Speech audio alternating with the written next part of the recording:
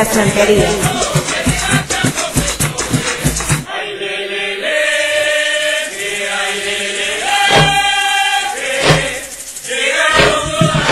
santería. Es una religión que tiene sus orígenes en la tribu yoruba del África.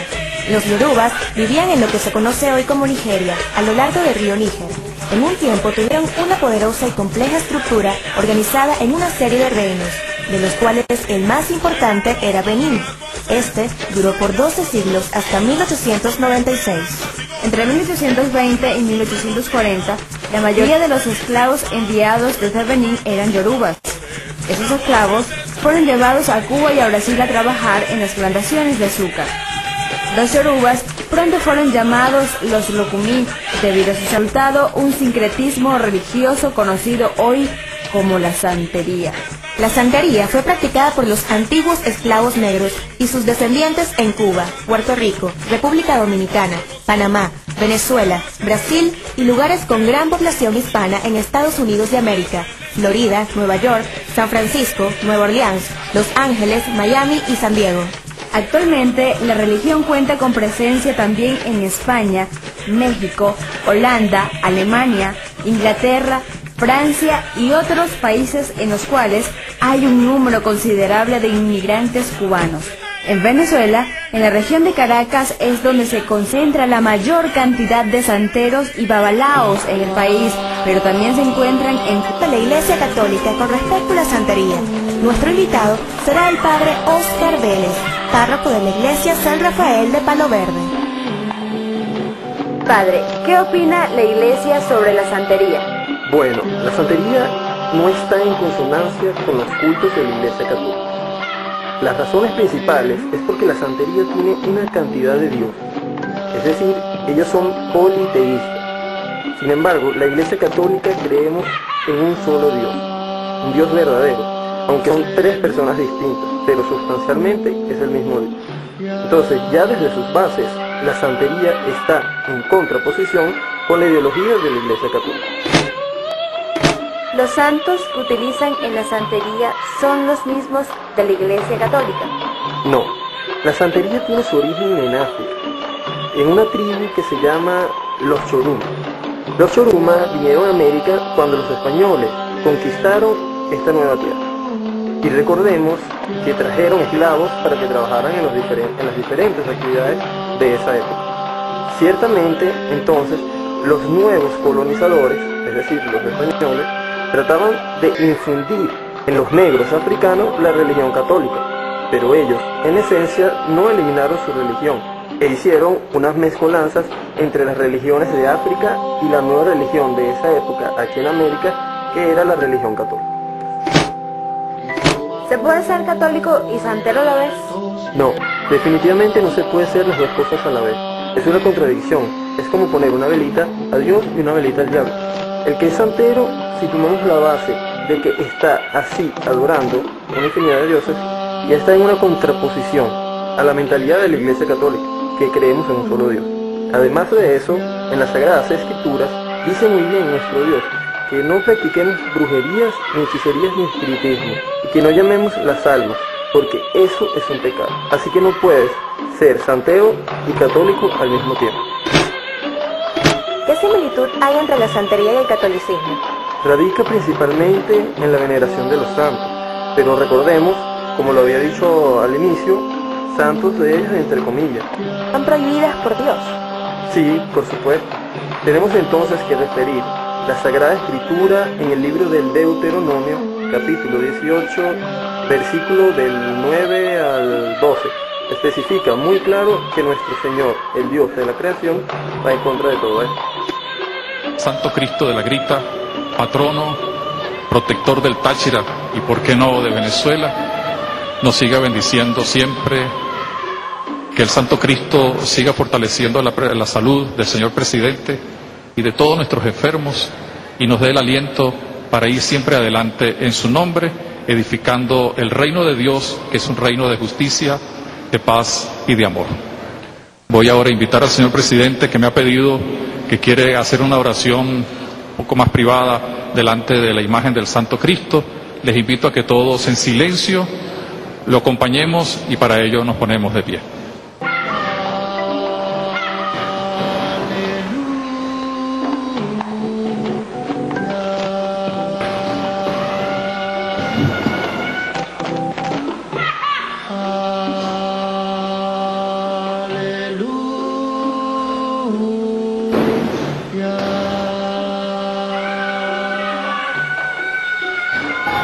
Esta venerada figura, más de 400 años.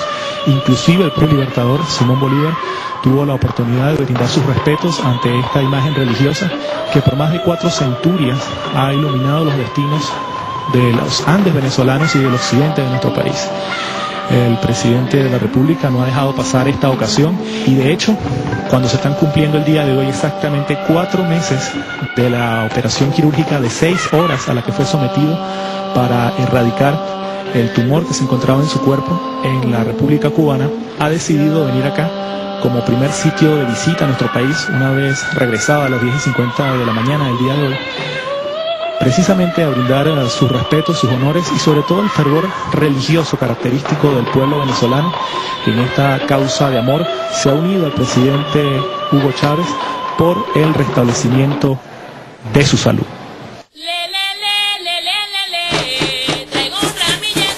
Pudimos conocer la opinión de un estudioso de la materia. Su nombre es Manuel Simanca y esto fue lo que nos dijo. ¿Cuál es la filosofía de la santería? La santería adora a una fuerza central y creativa llamada Odorumare. De él procede todo lo que existe y todo regresa a él. Odorumare se expresa a sí mismo en el mundo a través de Ashe. El Ewa es el representante de Odorumare en la tierra y es a él a quien Odorumare dio la misión de ser su intérprete entre los hombres. Creen que la vida de la persona viene ya determinada antes del nacimiento y esta vida está supervisada por un santero y un orisha, conocida Orisha. Háblenos acerca de los ritos y sacrificios. El primer rito al que hay que hacer referencia es la iniciación. Luego tenemos las adivinaciones, que pueden servir para limpiar espíritus malignos o reforzar espíritus buenos. Los sacrificios son ofrendas que se hacen a los orishas, ya que ellos las necesitan para vivir. Pueden ser frutas, velas, comidas o sacrificio de animales tales como chivos, palomas, ovejas y gallinas negras. Cada orishá tiene unas hierbas y animales que les gusta consumir y solo son estas cosas las que se deben sacrificar. La santería se distingue por los sacrificios de animales, chivos, palomas, ovejas y gallinas negras. Hay tres tipos de sacrificios de animales. El primero, para limpiar de un mal o una maldición.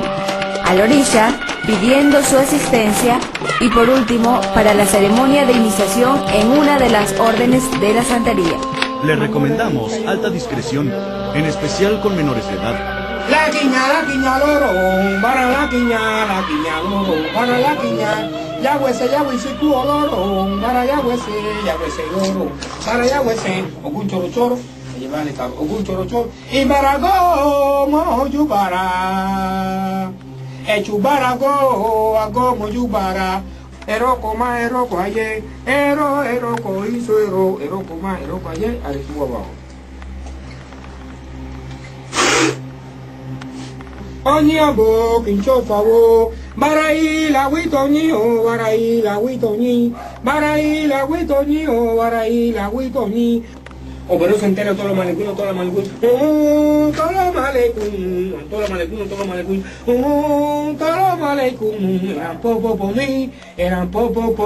Habíamos presenciado la iniciación que tiene toda persona que entra al confuso mundo de la santería, pero todavía faltaba conocer a Enriquito. En ese templo descubrimos que Enriquito guarda celosamente varias fotografías con el comandante Fidel Castro. Finalmente estábamos convencidos de que estábamos frente al babalao más temido y reconocido en todo el mundo. Pudimos observar el reconocimiento que le otorgó directamente el comandante Fidel. Eso fue un señalamiento que él hizo en cuanto a lo más destacado en el país que practicaran las religiones africanas.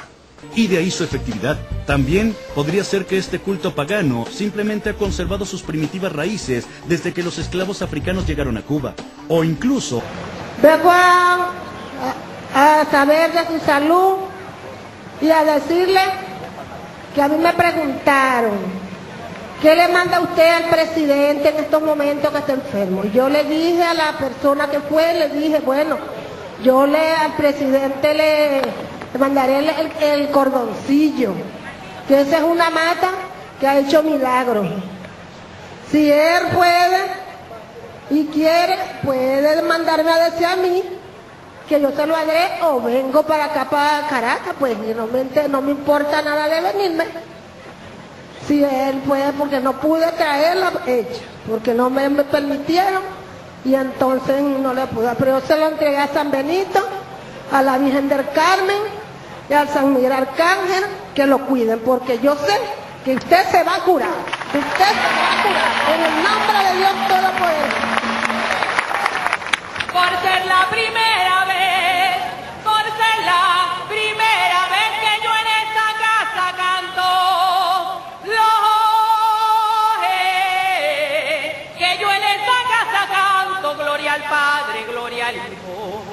al Espíritu Santo. Me con los clavos, me con los clavos y me abrazo con la cruz y me abrazo con la cruz para que siempre lo acompañe el dulce nombre de Jesús. Muchas gracias, muchas gracias, muchas gracias. Amor con amor se paga.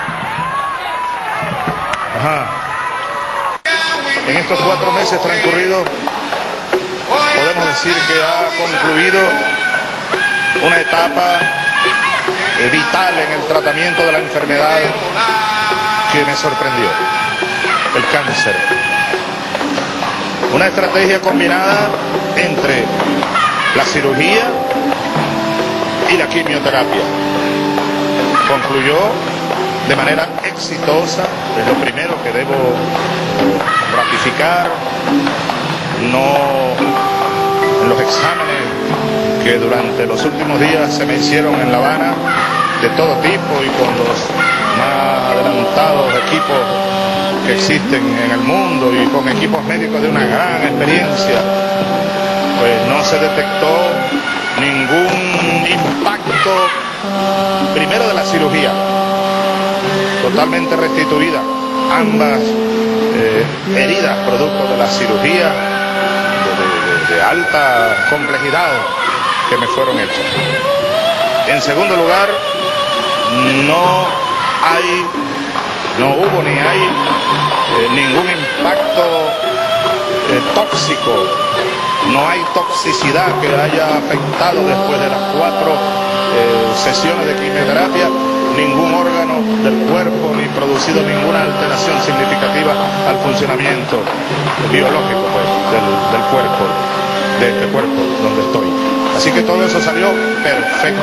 Puedo decir que saqué 20 puntos en esos exámenes. 20 puntos. Gracias a Dios, gracias al Cristo Redentor, a la Virgen del Socorro, a los espíritus de la sabana, a José Gregorio Hernández, a los médicos, a las enfermeras, a la ciencia médica. Gracias al amor de mis hijos, de mis hijas, de mis nietos, de mi familia, al amor de mi pueblo, de nuestro pueblo, al afecto, al baño de amor y de oraciones con que ustedes me honraron, me han honrado y nos seguiremos honrando, porque seguiremos orando, seguiremos pidiendo um, y haciendo nuestros mejores votos por la salud y por la vida de todos los venezolanos y de todas las venezolanas. Y más allá del mundo, porque eso es lo que queremos para el mundo. Salud, vivir viviendo, felicidad, decía Bolívar, el padre Bolívar, la mayor suma de felicidad posible.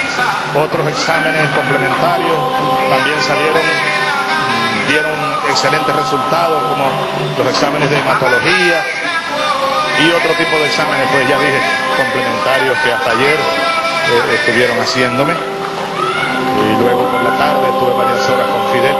Muchas gracias, muchas gracias, muchas gracias. Amor con amor se paga.